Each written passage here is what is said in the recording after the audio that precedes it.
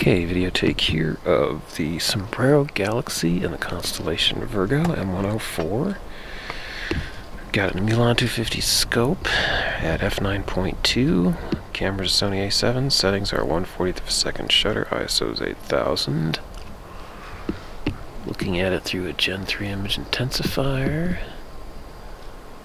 Our camera is connected to the intensifier using a full frame relay lens, which expands the 18 millimeter diameter phosphor screen on the intensifier to something more like about 36 millimeters, maybe a little more than that.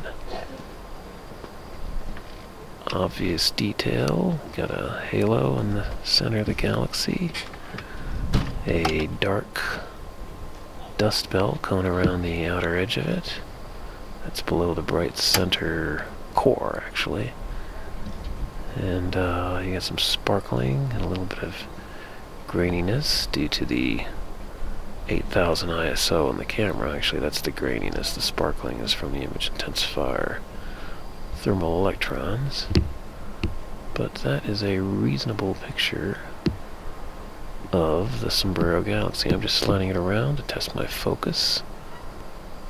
Oh, got a nice little bright spot there. That looks pretty reasonable. 90 power magnification.